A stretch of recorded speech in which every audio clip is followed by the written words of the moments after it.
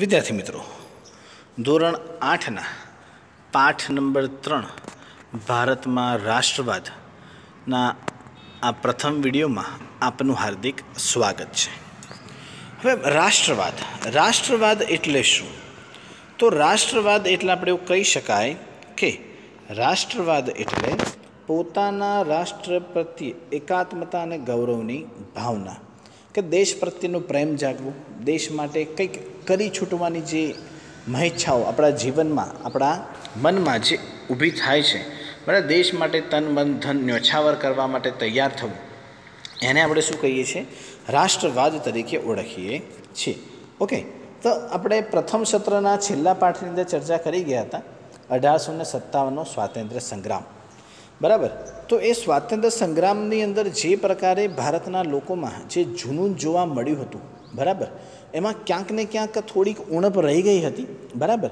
પણ એ સૌ પ્રથમ પ્રયત્ન હતો અને થોડું ઘણું જે વ્યવસ્થાપન ચોક્કસ થવું જોઈએ, ચોક્કસ પ્લાનિંગ થવું જોઈએ, એ એની થોડી ઘણી કચાશ હતી, બરાબર?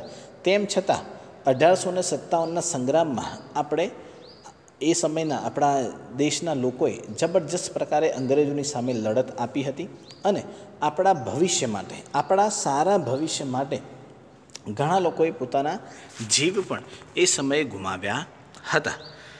ઓકે તો વિશ્વની અંદર એ સમય દરમિયાન આપણે અઢારસો ને સત્તાવન પછીની વાત કરીએ, તો અઢારસો ને સત્તાવન પછી નવજાગૃતિ, ધર્મ સુધારણા અમેક અમેરિકા અને ફ્રાન્સની ક્રાંતિ, ઇટાલી અને જર્મનીનું એકીકરણ. બરાબર, ઘણા બધા એમ કહી શકાય કે બહુ જ મોટી ઘટનાઓ મહત્ત્વની ઘટનાઓ એ સમયે ઘટી હતી. બરાબર? અને ક્યાંક ને ક્યાંક આપણા ભારતના લોકોમાં પણ જાગૃતિનું પ્રમાણ ધીમે ધીમે આવી રહ્યું હતું.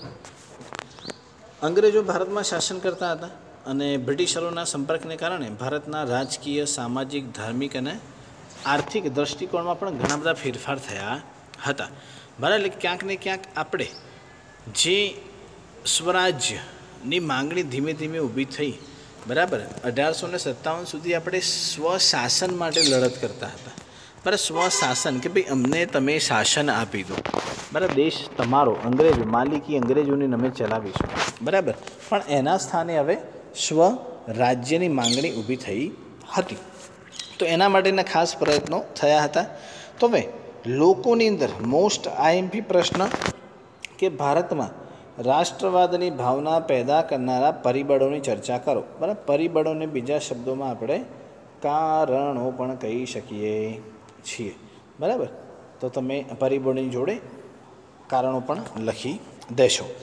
કયા કારણોને લીધે આપણા દેશના લોકોમાં રાષ્ટ્રપ્રેમ, રાષ્ટ્રવાદની જે ચિંગારી છે, એક નાનકડી ચિંગારી, એ આગ સ્વરૂપે ભભૂકી ઉઠી. બરાબર? એના વિશેની વાત આપણે અહીંયા કરવાની છે. તેનું પહેલું કારણ આપણને આપેલું છે અહીંયા રાજકીય કારણ. બરાબર કે ક્યાંક ને ક્યાંક અંગ્રેજ શાસન પહેલાં આપણા દેશમાં રાજકીય એકતાનો અભાવ હતો. બરાબર, આપણું ભારત જે છે પાંચસો ને બાસઠ ટુકડાઓમાં વહેંચાયેલું હતું અને દરેકે દરેક રાજા પોતાના પ્રદેશને વિસ્તારવામાં જ મથ્યો રહેતો હતો. બરાબર, એટલે કે આપણે ગુજરાતીમાં કહેવત છે કે પહેલો સગો પાડોશી, પણ એ કહેવતને અહીંયા લાગુ પાડી શકાય તેમ હતી નહીં. બરાબર, તો એ પ્રકાર, એટલે કે નાના મોટા રજવાડાઓ સતત એકબીજાની અંદર લડત લડતા હતા અને એનો જ લાભ આ અંગ્રેજો લઈ ગયા હતા. બરાબર? પેલી આપણે વાર્તા તમે ભણી ગયા છો. બરાબર? નાના હશો ત્યારે કે બે બિલાડી પેલા રોટલા માટે ઝઘડતી હતી અને પેલો વાંદરો એ રોટલો ખાવામાં ફાવી ગયો હતો. તો એ જ પ્રકારની પરિસ્થિતિ હતી કે આપણા ભારતના રાજાઓ જે છે એ સતત એકબીજા સાથે યુદ્ધમાં રચ્યા પચ્યા રહેતા હતા અને એ પરિસ્થિતિનો લાભ અંગ્રેજોએ લીધો હતો. ઓકે? તો એ પ્રકારે પણ અંગ્રેજોએ જ્યારે શાસન કર્યું, ત્યારે આખા ભારતમાં એક સરખું વહીવટી તંત્ર એ લોકોએ અમલમાં મૂક્યું. બરાબર? અંગ્રેજ શાસનનો અનુભવ સારો ન હતો. બરાબર? પણ આ એક હથ્થું શાસન અથવા તો એક જ રીતિ નીતિથી ચાલતું શાસન હતું. બરાબર? એના કારણે ક્યાંક ને ક્યાંક ભારત સામે લોકોનો જે વિરોધ છે, એ સતત વધતો ગયો હતો. ભારત આખા એટલે અંગ્રેજો આખા ભારતમાં શોષણ સતત કરતા હતા. એના કારણે ભારતના લોકો ધીમે ધીમે અંગ્રેજોની સમક્ષ વિરોધ કરવામાં પણ ક્યાંક ને ક્યાંક માનસિક રીતે તૈયાર થયા હતા. બરાબર? બીજા કારણની આપણે વાત કરીએ તો બીજું કારણ અહીંયા છે આર્થિક. અર્થ. બરાબર? અર્થ એટલે શું? તો અર્થ એટલે નાણું, પૈસા. બરાબર? તો એ આર્થિક કારણની આપણે વાત કરવાની છે. તો અંગ્રેજોએ જે પ્રકારે ભારતની, ભારતના ભોગે બરાબર? ભારતના ભોગે આમ તો કહી શકાય કે ભારતના ભોગે યુરોપના ઘણા બધા દેશોએ પોતાનો વિકાસ કર્યો છે. એમાં સૌથી વધારે વિકાસ અંગ્રેજોએ, ઇંગ્લેન્ડનો વિકાસ થયેલો છે. બરાબર? એટલે કે ભારતમાંથી કાચો માલ ઇંગ્લેન્ડ લઈ જતા, ત્યાંથી વસ્તુ તૈયાર કરીને લાવતા. આપણી ચીજ વસ્તુ આપણને ઊંચી કિંમતે એ લોકો વેચતા હતા. બરાબર? એના કારણે અને જો ભારતનો કોઈ વેપારી ધંધો કરતો હોય તો એના ઉપર એની ચીજ વસ્તુ પર બહુ ઊંચી જકાતું નાખવામાં આવતી હતી. બરાબર, એકસો વીસ ટકા સુધીની જકાત, એટલે કે વસ્તુની કિંમત સીધી ડબલ કરતાં પણ વધી જતી. એટલે અંગ્રેજોની વસ્તુ સસ્તી રહેતી અને આપણા ભારતની ચીજ વસ્તુઓ મોંઘી રહેતી હતી. બરાબર? તો એના કારણે અંગ્રેજો પોતાનો સસ્તો માલ, બહુ જ મોટા પાયા પર ભારતમાં વેચતા હતા અને એના પરિણામે આપણા ભારતના જે કોઈ પણ હસ્ત ઉદ્યોગો અને ઉદ્યોગ ધંધા એ સમયે અંગ્રેજોની સામે ટકી શક્યા નહીં. અને એ સમય દરમિયાન ઘણા બધા કારીગરો ઘણા બધા લોકો બેરોજગાર બન્યા, ગરીબીની પરિસ્થિતિમાં ધકેલાઈ ગયા. એના કારણે પણ અંગ્રેજો પ્રત્યે રોષ, ગુસ્સો દિવસે ને દિવસે ભારતના લોકોમાં સતત વધતો જતો હતો. ઓકે ત્યારબાદ આપણે અહીંયા વાત કરીએ તો વાહન અને સંદેશા વ્યવહાર તો વાહન વ્યવહાર અને સંદેશા વ્યવહારના કારણે આપણા ભારતમાં રેલવે, તાર, ટપાલ, જમીન, જળ વ્યવહારના આપણા માર્ગો લશ્કરી, આર્થિક અને રાજકીય કારણોસર અંગ્રેજોએ વિકસાવ્યા હતા. બરાબર અંગ્રેજોએ જે કોઈ પણ સંદેશા વ્યવહાર અને વાહન વ્યવહારની સુવિધાઓ વિકસાવી હતી, એ એમના પોતાના લાભ માટે હતી. બરાબર? પણ એનો લાભ ક્યાંક ને ક્યાંક ભારતના લોકોને પણ પ્રાપ્ત થયો હતો. બરાબર એ પોતાના સ્વાર્થ માટે જે સેવાઓની શરૂઆત એમના દ્વારા કરવામાં આવી હતી. પણ સમય જતાં એનો લાભ આપણા ભારતના લોકોને મળ્યો. બરાબર? જેમ કે રેલવે અને સંદેશા વ્યવહારને કારણે. સંદેશા વ્યવહાર એટલે કે વર્તમાનપત્રો અને એ બધાને કારણે દૂરના વિસ્તારમાં, બાજુના રાજ્યમાં શું ચાલી રહ્યું છે એનું લોકોને ખ્યાલ આવતો થયો. બરાબર? અને વાહન વ્યવહારના કારણે એક જગ્યાએથી બીજી જગ્યાએ પહોંચવું સરળ બન્યું, જેને કારણે ભારતના લોકો એકબીજાની નજીક આવ્યા. અઢારસો ને સત્તાવનના સમયે એક મુખ્ય પ્રશ્ન હતો કે બે રાજ્યો વચ્ચે આપણા ભારતની અંદર જે રાજ્યોની રચના મોટાભાગે તમે જુઓ તો ભાષાને આધારે થયેલી છે. બરાબર? તો એ ભાષા એકબીજાની આપણે સમજી નહોતા શકતા, પણ ધીમે ધીમે એકબીજાની નજીક આવતા ગયા, તો એકબીજાની વાતો, એકબીજાના લાગણીઓને આપણે સમજતા થયા, બરાબર? અને ધીમે ધીમે જે નેતાગીરી ફક્ત પ્રાદેશિક કક્ષાએ રહેતી હતી, એની જગ્યાએ હવે રાષ્ટ્રીય કક્ષાએ પણ હવે નેતાગીરી ઊભી થઈ રહી હતી. તો આ એક સૌથી અગત્યનો લાભ આપણે એને ગણી શકીએ. એના પછી શિક્ષણ અને સાહિત્ય. તો ભારતીય રાષ્ટ્રવાદના ઉદયમાં અંગ્રેજી શિક્ષણનો સૌથી મોટો ફાળો છે. ગાંધીજી અંગ્રેજીને ગુલામીની કેળવણી કહેતા હતા. બરાબર? પણ જો અંગ્રેજો, મારું એવું માનવું છે કે જો અંગ્રેજોએ ભારતના લોકોને અંગ્રેજી ન શીખવાડ્યું હોત, તો આજની તારીખમાં પણ કદાચ એ લોકો ભારતમાં શાસન કરતા હોત. કે આપણે, આપણા દેશના લોકો અંગ્રેજી શીખ્યા, એના કારણે પશ્ચિમની સંસ્કૃતિ, પશ્ચિમના લોકો શું વિચારે છે? બરાબર યુરોપિયન કન્ટ્રી શું વાતો, એ લોકો અંગ્રેજો અંદર અંદર શું વાતો કરે છે, શું ચર્ચા કરે છે, બરાબર, એ બધું જાણતા થયા.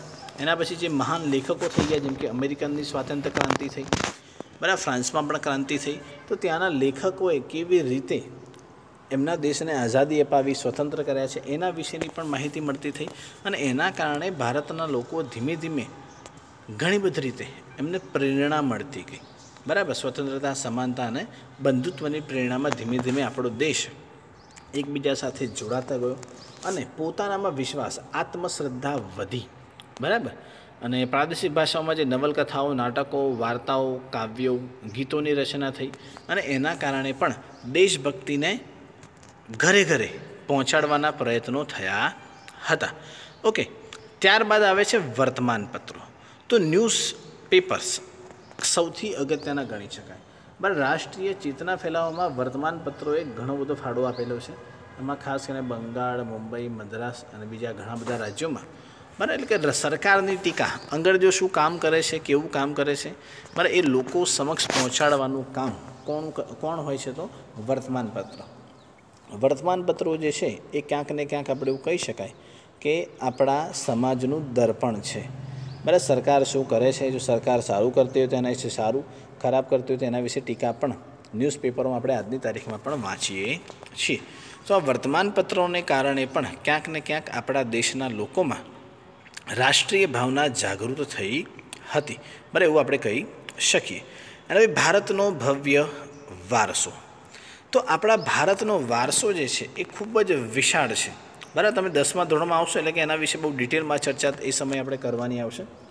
તો આપણા ભારતની અંદર પાશ્ચાત્ય પુરાતત્વવિદ એલેક્ઝાન્ડર કનિંગહામ અને એમના ઘણા બધા મદદનીશોએ ભારતના ઘણા બધા સ્થળોએ ખોદકામ કર્યું અને ભારતની ઘણી બધી પ્રાચીન ચીજ વસ્તુઓ સ્થાપત્યો, મૂર્તિઓ એ મળ, મળ્યું હતું. બરાબર? અને એના કારણે આપણા દેશના લોકોને, આપણા દેશની પ્રાચીન સંસ્કૃતિ ઉપર ગર્વ થતો ગયો. બરાબર? એ- સમય દરમિયાન વાત કરીએ તો ભગવાનલાલ ઇન્દ્રજી જેવા ભારતીય પુરાતત્વ એ પણ ઘણા બધા અવશેષો સુધી અને ભારતીય સંસ્કૃતિનો ભવ્યતાનો ખ્યાલ લોકો સુધી પહોંચાડ્યો હતો. બરાબર? એટલે આ વસ્તુઓને કારણે પણ જે આપણા પૂર્વજો દ્વારા જે કોઈ પણ રચનાઓ થઈ હતી, બરાબર? એના વિશેની પણ માહિતી લોકો સુધી પહોંચી અને લોકોમાં ક્યાંક ને ક્યાંક આપણે એવું કહી શકીએ કે એક પ્રકારે જાગૃતિ આવી હતી. ઓકે. તો એ પ્રમાણે. તો આ રાષ્ટ્રવાદના કારણોની ચર્ચા થઈ. હવે આપણે અહીંયા વાત કરીશું હિન્દી રાષ્ટ્રીય મહાસભા. બરાબર ઇન્ડિયન નેશનલ કોંગ્રેસ, કે જેને આપણે અત્યારે કોંગ્રેસ જે પાર્ટી તરીકે આપણે ઓળખીએ છીએ બરાબર એના વિશેની વાત આપણે અહીંયા કરવાની છે. ઓકે. તો આ કોંગ્રેસ ભારતની એવું કહી શકાય કે સૌપ્રથમ રાષ્ટ્રીય પક્ષ હતો. જેમાં આખા દેશની અંદર એ પોતાનો પ્રભાવ ઊભો કરવામાં ક્યાંક ને ક્યાંક મહત્ત્વની ભૂમિકા એને ભજવી હતી. બરાબર? પણ કોંગ્રેસની સ્થાપના પહેલાં પણ ઘણા બધા પક્ષ હતા અથવા તો ઘણા બધા સંગઠનો હતા. પણ એ સંગઠનો કેવા હતા? પ્રાદેશિક હતા. પોતાના પ્રદેશ પૂરતા જ સીમિત હતા. બરાબર? જેમ કે અહીંયા કીધું છે કે બંગાળ બ્રિટિશ ઇન્ડિયન સોસાયટી જે કોલકાતામાં કામ કરતી હતી, મદ્રાસ નેટિવ સભા જે ચેન્નઈમાં કામ કરતી હતી, ઇન્ડિયન એસોસિએશન જે કોલકાતામાં કામ કરતી હતી, બોમ્બે એસોસિએશન મુંબઈમાં અને સાર્વજનિક સભા જે છે, પુણેની અંદર કામ કરતી હતી. બરાબર? હવે તમને જાણીને નવી લાગશે કે આપણા ભારતની જે કોંગ્રેસ પાર્ટી છે, એની સ્થાપના એક અંગ્રેજ દ્વારા કરવામાં આવી હતી. બરાબર? Sir Allan Octavian Hume, A O Hume તરીકે ઓળખાતા હતા. બરાબર? અને આ નિવૃત્ત અંગ્રેજ અધિકારીને ખાતરી થઈ ચૂકી હતી કે અંગ્રેજો હવે લાંબા સમય સુધી ભારતમાં શાસન કરી શકવાના નથી. બરાબર કે જે અને જો કદાચ પ્રજાનો, પ્રજામાં જે પ્રકારે અસંતોષ છે, એ અસંતોષને ઘટાડવામાં નહીં આવે, તો ઈસવીસન અઢારસો ને સત્તાવનમાં જે સંગ્રામ થયો હતો, અને એ સમયે અંગ્રેજોની જે હાલત આપણે શરૂઆતના તબક્કે આપણા ભારતીયોએ બગાડી હતી એના કરતાં પણ ખરાબ પરિસ્થિતિ અંગ્રેજોએ ભોગવવી પડશે. બરાબર? એટલા માટે એમને આ એક સંસ્થા સ્થાપવાનું વિચાર્યું. બરાબર? અને એમને વાઇસરોય ડફરીનને સમજાવ્યા.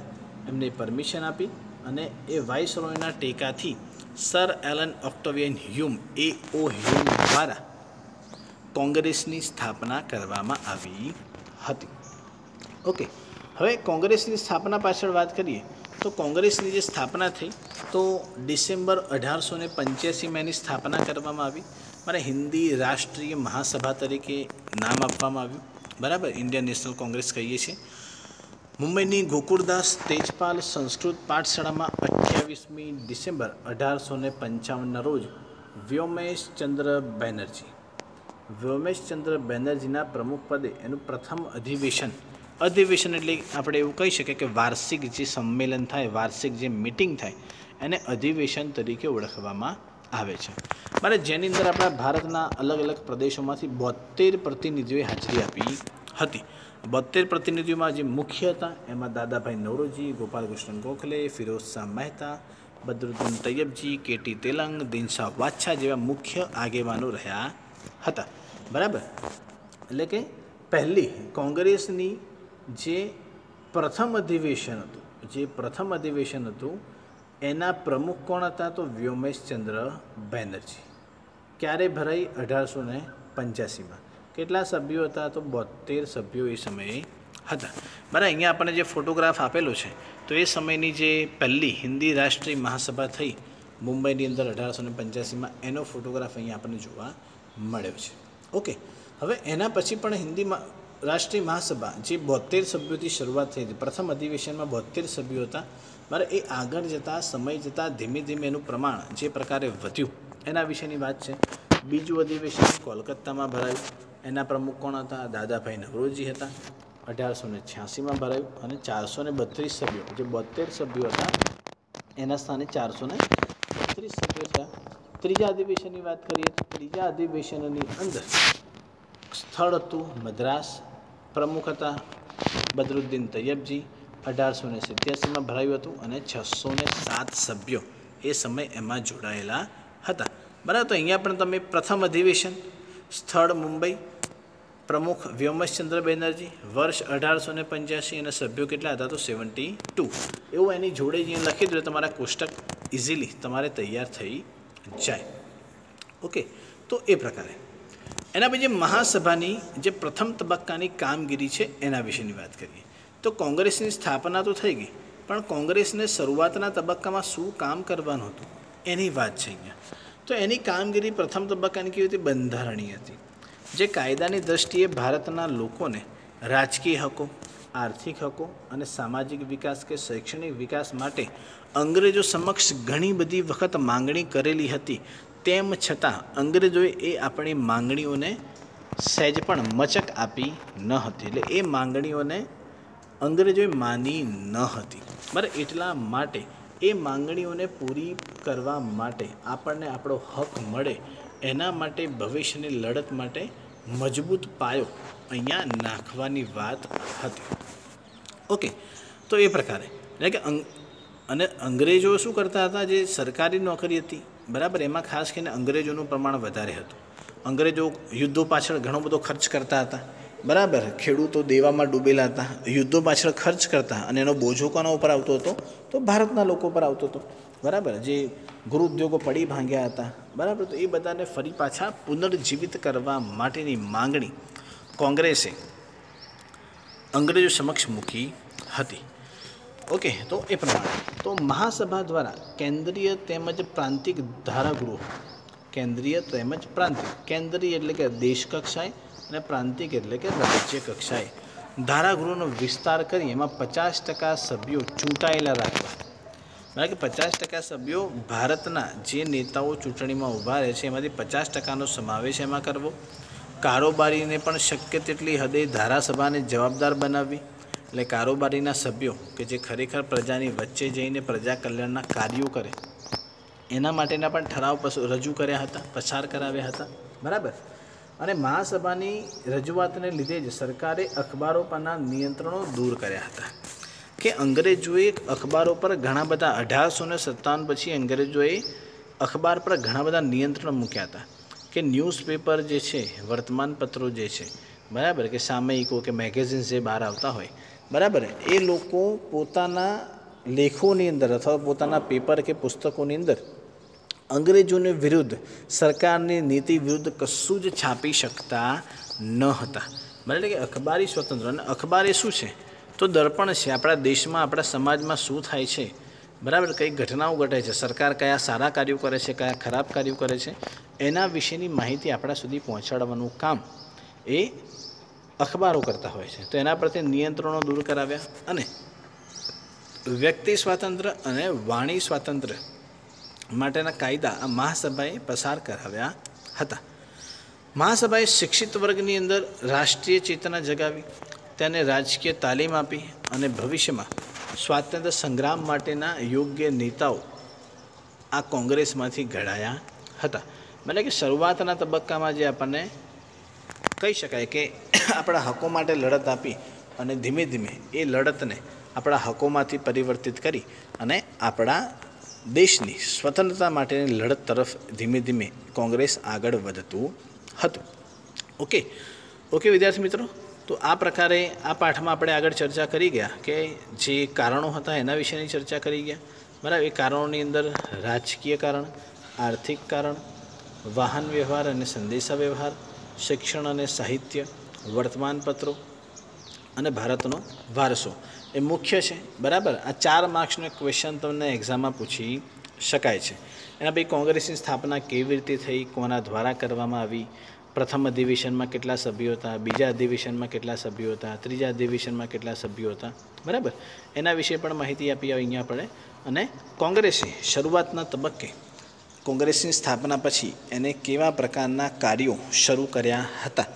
એના વિશેની પણ વાત અહીંયા આપણને આપેલી છે કે અખબારને સ્વતંત્રતા અપાવી વ્યક્તિ સ્વતંત્રતા અપાવી, વાણી સ્વતંત્રતા લોકોને મળી. બરાબર? તો એ ખાસ અગત્યના કાર્યો રાષ્ટ્રીય મહાસભા દ્વારા કરવામાં આવ્યા હતા. ઓકે, વિદ્યાર્થી મિત્રો, તો આ પાઠના વિડીયોમાં આજે આપણે આટલે સુધી રાખીએ છીએ. વધુ આપણે નેક્સ્ટ લેક્ચરમાં જોઈશું. ધન્યવાદ.